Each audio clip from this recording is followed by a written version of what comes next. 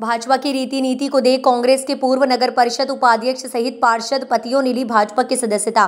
केंद्रीय मंत्री ज्योतिरादित्य सिंधिया व पिछोर विधायक प्रीतम सिंह लोधी के समक्ष ली भाजपा। खनियादाना में हाल ही में हुए विधानसभा चुनाव के बाद से कांग्रेस के नेताओं में खनियादाना में भगदड़ मची हुई है। वहीं खनियाधाना नगर परिषद के पार्षदों में भी अब भगदड़ मचने लगी है। जानकारी के अनुसार पिछोर विधानसभा में तीस वर्ष से कांग्रेस का कब्जा था। वहीं छह बार से लगातार केपी सिंह कग्गाजू चुनाव जीत रहे हैं। वहीं इस बार पिछोर विधानसभा का अजय किला चंबल टाइगर कहलाने वाले प्रीतम सिंह लोधी ने किला जीतकर भाजपा को बढ़त बना दी है।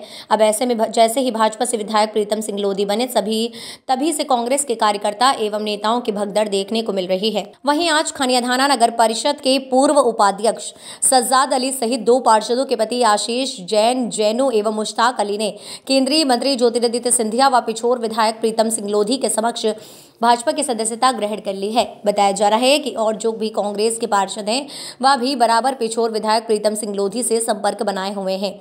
वह भी जल्द भाजपा की सदस्यता ग्रहण करने वाले हैं।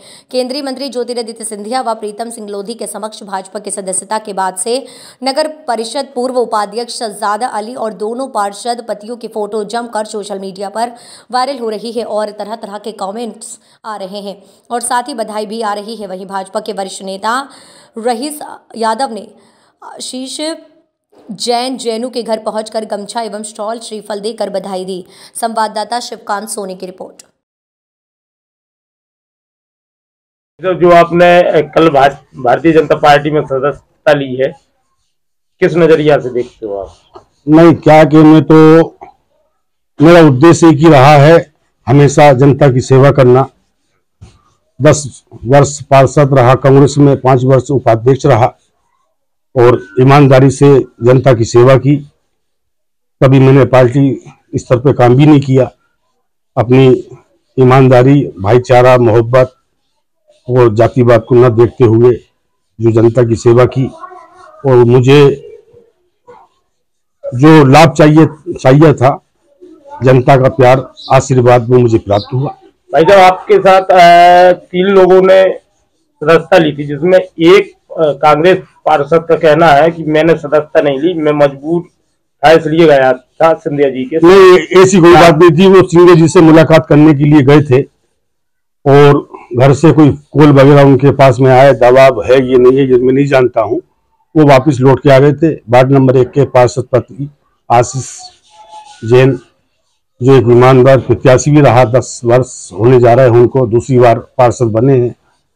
और उनका काम भी देखा है मैंने बहुत अच्छा रहा। पाँच साल में उपाध्यक्ष रहा वो मेरे पास बन के रहे। जनता के हित में हमेशा उन्होंने नगर परिषद में आवाज़ उठाई है। क्या कारण रहा था कि कोई मजबूरी ऐसी क्या बनी उनकी के मना कर दी अब उनको क्या सम्मान नहीं मिला है वहाँ? और नगर हित के अंदर जो आवाज़ उन्होंने उठाई है उस आवाज़ को दबाई गई है इसलिए वो वहाँ से हटके कांग्रेस पार्टी छोड़कर भारतीय जनता पार्टी में शामिल हुए नगर परिषद में कांग्रेस अध्यक्ष है।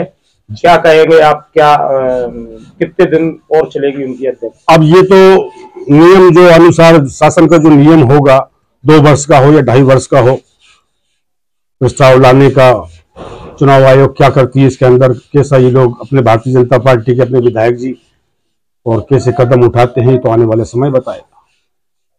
भाई साहब कल आप कांग्रेस छोड़कर भाजपा में शामिल हुए आप किस प्रकार से देखते हैं अपनी ज़िम्मेदारी? नगर में लिया हमने फैसला। इस समय भाजपा का विधायक है भाजपा की डबल इंजन सरकार है। और पिछले डेढ़ सालों में नगर में भी विकास नहीं हुआ। मेरे वार्ड में पर्सनल अगर बात करूँ तो एक रुपया का कोई काम नहीं हुआ।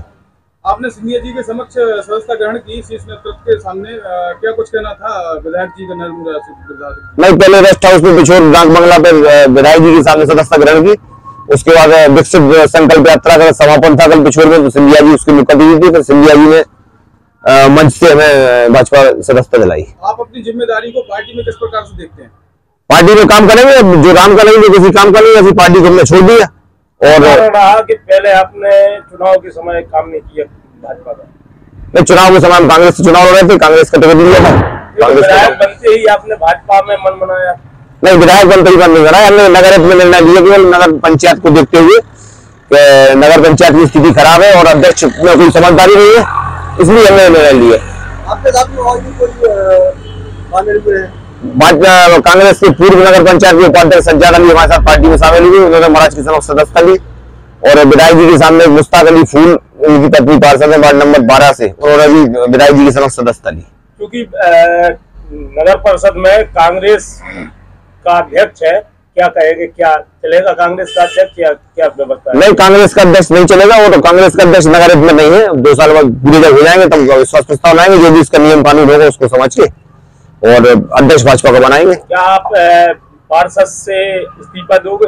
नहीं पार्षद मेरी पत्नी है फ़िलहाल। इस्तीफा देंगे क्या? नहीं इस्तीफा नहीं देंगे हम तो भाजपा को समर्थन करेंगे।